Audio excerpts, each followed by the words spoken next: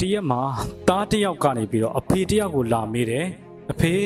သားရဲ့ဘောဟာဘလောက်တန်သလဲလို့လာမေးပါတယ်အဲ့ဒီချိန်မှာအဖေကကြောက်တုံးလေးတစ်လုံးသူ့သားကိုပေးလိုက်တယ်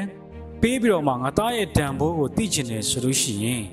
သားဘာလုပ်ရမလဲဆိုတော့ဒီကြောက်တုံးတစ်လုံးကိုယူသွားယူသွားပြီးလို့ရှိရင်ဈေးထဲမှာ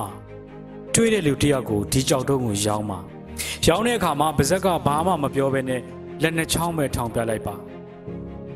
အဲ့ဒါဆိုလို့ရှိရင်တော့ဒါအဆင်ပြေပါလိမ့်မယ်လို့ပြောပါတယ်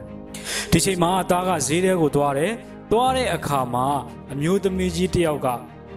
ကောင်လေးကိုမေးတယ်ဒီကြောက်တုံးလေးရောင်းမလားခေါင်းငိမ့်ပြတယ်ရောင်းပါမယ်ဘလောက်နဲ့ရောင်းမလဲလို့မေးတဲ့အခါမှာသူဟာလက်ညှိုးနှစ်ချောင်းကိုထောင်ပြလိုက်ပါတယ်အဲ့ဒီချိန်မှာအမျိုးသမီးကြီးကဟုတ်ပြီအဲ့ဒီတော့ကောင်လေးကို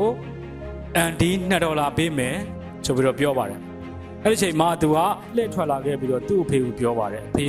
မျိုးသမီးတယောက်ကတော့ကျွန်တော်ကိုဒီကြောက်တုံးလေးကို2ဒေါ်လာနဲ့ပေးမယ်လို့ပြောပါတယ်ဟုတ်ပြီငါသားအရန်ကောင်းတယ်နောက်ထပ်အဖေကမင်းကိုဘာလို့စေချင်တာလဲဆိုတော့ပြားတိုက်တစ်ခုစီကိုသွား ပြားတိုက်စီတစ်ခုစီသွားပြီးတော့မှလူတယောက်ကမြန်လာဝယ်ခဲ့လို့ရှိရင်ဒီကြောက်တုံးကိုဘလောက်လဲလို့မေးခဲ့လို့ရှိရင်ခုနအတိုင်းပဲလက်နှချောင်းပဲထောင်ပြလိုက်ပါလို့ပြောတယ်အဲ့တော့ကောင်လေးဟာပြားတိုက်ကိုသွားတယ်သွားတဲ့ချိန်မှာအမျိုးသားကြီးတယောက်ရောက်လာပြီးတော့မင်းကဒီကြောက်တုံးလေးကိုရောင်းမလို့လားဘလောက်လဲလို့မေးတဲ့အခါမှာကောင်လေးကလက်နှချောင်းပဲထောင်ပြခဲ့ပါတယ်အဲ့ဒီအချိန်မှာပဲအဲ့ဒီအမျိုးသားကြီးကโอเคအဲ့တော့မင်းကဒေါ်လာ200လိုချင်တာပေါ့အဲ့ဒါဆိုရင်ငါဒေါ်လာ200နဲ့ဝယ်လိုက်မယ်လေလို့ပြောပါတယ် အဲ့ဒီအချိန်မှာလည်းကလေးကပြန်လာခဲ့ပြီးတော့သူ့အဖေကိုသွားပြောပါတယ်အဖေလူတယောက်ကတော့ကျွန်တော်ကိုဒေါ်လာ200ပေးနေပြီလို့ပြောပါတယ်ဟုတ်ပြီအဲ့တော့နောက်ထပ်သားကိုအဖေကဘာလို့စေချင်တာလဲဆိုတော့ရတနာဆိုင်တစ်ခုကိုသွားပါရတနာဆိုင်တစ်ခုကိုသွားပြီးတော့ဒီကြောက်တုံးရောင်းမယ်သူတို့ကဘလောက်လဲလို့မေးလာတဲ့အခါမှာလက်နှချောင်းပဲထောင်ပြလိုက်ပါလို့ပြောတယ်အဲ့တော့ကောင်လေးဟာရတနာဆိုင်ကိုသွားတယ်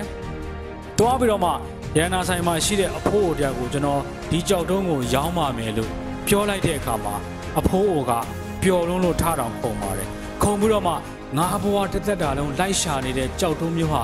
ဒီလိုကြောက်တုံးမျိုးပဲငါအခုတွေ့ရပြီငါအယံဝမ်းတာတာပဲလို့ပြောပါအဲ့ဒီတော့ကောင်လေးကိုမေးတယ်ဒီကြောက်တုံးဘလောက်နဲ့ရောင်းမလဲလို့မေးပါတယ်အဲ့ဒီချိန်မှာကောင်လေးကထုံးစံတိုင်းပဲလက်နှစ်ချောင်းပဲထောင်ပြလိုက်ပါအဲ့ဒီချိန်မှာကြောက်ကုန်တဲ့အဖိုးကြီးက ဒေါ်လာ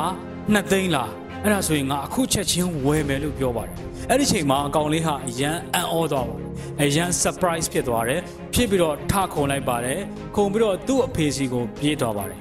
အဖေအဖေရန်နာတိုင်းမှာရှိတဲ့အဖိုးကြီးကတော့ကျွန်တော်ကိုဒေါ်လာ2သိန်းပေးနေတယ်အဖေ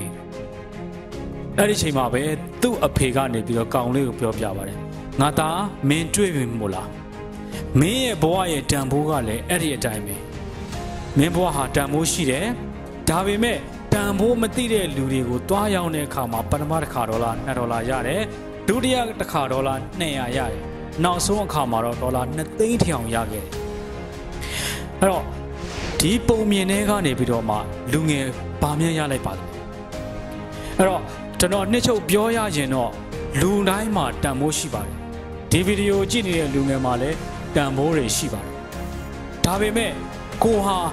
တန်ဖိုးရှိတဲ့နေရာမှာကိုကိုကိုသွားထားမယ်ဆိုလို့ရှိရင်တော့တန်ဖိုးရှိမှဖြစ်ပြီးတော့တန်ဖိုးမရှိတဲ့နေရာမှာကိုကိုကိုသွားထားမယ်ဆိုလို့ရှိရင်တော့တန်ဖိုးမရှိနိုင်ဘူးအဲ့တော့ဒီကနောက်လူငယ်ဘာလုပ်ရမလဲဆိုတော့ကိုကိုတန်ဖိုးထားတဲ့လူတွေနဲ့ပေါင်းတင်ဆက်ဆံကိုကိုချစ်တဲ့လူတွေနဲ့ပေါင်းတင်ဆက်ဆံကိုရဲ့တန်ဖိုးကိုမသိတဲ့ကိုကိုအတုံးချဖို့လောက်ပဲပေါင်းတဲ့လူတွေနဲ့မပေါင်းတင်မဆက်ဆံပါနဲ့ အဲ့လိုပေါင်းတင်ဆက်ဆံမိတယ်ဆိုလို့ရှိရင်ကိုဟာတန်ဖိုးရှိတဲ့လူတယောက်ဖြစ်မလာနိုင်ပါဘူးကိုရဲ့တန်ဖိုးသိတဲ့လူတွေနဲ့ပဲပေါင်းတင်ပါကိုတန်ဖိုးကိုကိုနားတယ်ပါတန်ဖိုးမရှိတဲ့အလုပ်တွေတန်ဖိုးမရှိတဲ့လူတွေနဲ့ပေါင်းတင်လောက်ကင်နေမယ်ဆိုလို့ရှိရင်တော့ဘောဟာတန်ဖိုးရှိမှာမဟုတ်ပါဘူးဒီကြောင်းတွေကနေပြီးတော့မှအခုဒီဗီဒီယိုကြည့်နေလူငယ်တွေမိတ်ဆွေတွေဟာကြိုးတစုံလေးရရလိမ့်မယ်လို့ကျွန်တော်မျှော်လင့်ပါတယ်ကိုအတွက်ဘာရလိုက်တယ်ဆိုတော့ comment မှာတစ်ချက်လောက်ရေးလို့ရရင်ရေးပြပါ ဒီဗီဒီယိုစုံကြည့်ပြီးအတွက်လည်းကျေးဇူးအများကြီးတင်ပါတယ်ကျွန်တော်တို့ကိုညံနေအောင်ပါမင်္ဂလာရှိသောနေ့လေးဖြစ်ပါစေ And how cold is not in her She's a